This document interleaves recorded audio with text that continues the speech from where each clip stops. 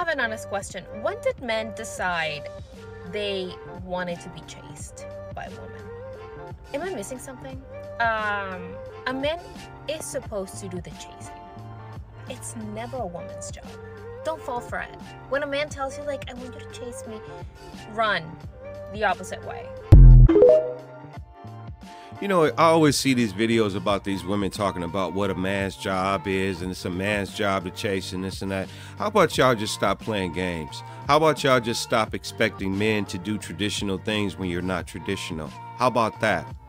How about stop making men jump through a million hoops, spend a million dollars on you to prove their worth to you?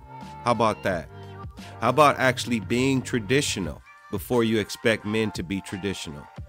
Men want to know that women are interested and they want to know that women are not gold diggers and they want to know that women are not just trying to use them. And unfortunately, we live in a society right now where that's pretty much what all these women are doing. Definitely. And I can see that this woman has a ring on her finger. She looks like she might be married or something like that. I think that's the worst type of person to look for when it comes to relationship advice because from my opinion, if you're married and you're doing what you're supposed to do, why are you even in TikTok videos talking crazy about relationships? Talking crazy about men. Shouldn't your focus be on your family and that ring on your finger and what you got going on? Instead of getting in videos telling women, giving women bad advice and throwing men under the bus yet again? If you got married and you got a ring on your finger, that's good for you. That's great. But I could tell just from the fact that you're in this video talking all this stuff, I could tell who runs your marriage. I can tell who's the dominant one in your marriage, and it's definitely not your husband. So it's not about men wanting women to chase them around or to prove themselves. Everybody that gets in a relationship is looking at the other person like, is this person a good fit? You know, does this person uh, meet my criteria? Does this person meet my my standards, so to speak? But why is it a problem when men have standards? Why is that a problem?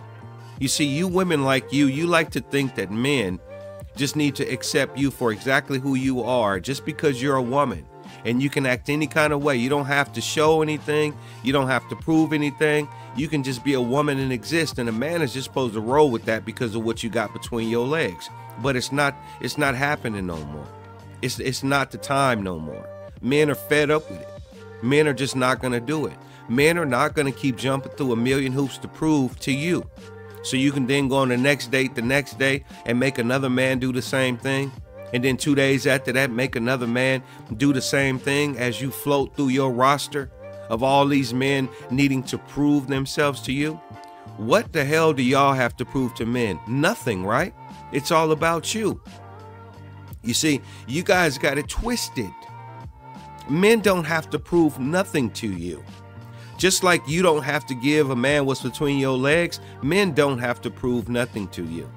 Men don't have to chase you. Men are stopped, they've stopped chasing women altogether because they're smarter. They understand what time it is. They understand that the average woman is not traditional, but yet the average woman still expects traditional things.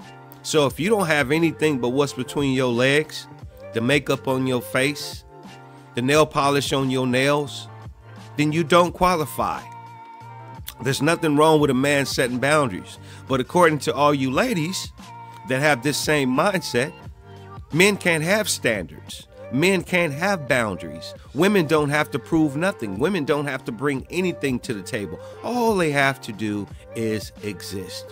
So when you hear women in these videos telling women, oh, don't chase a man, don't chase men, don't prove anything to them, well, that's fine. But don't expect men to keep doing that for you because the gig is up. Men are done. Men are tired of being used by women like you. You have the power to achieve anything you want. Don't let anything or anyone distract you from your goals. And remember, stay focused, stay strong, and stay positive. Make sure to like, subscribe, and share this video with those in need.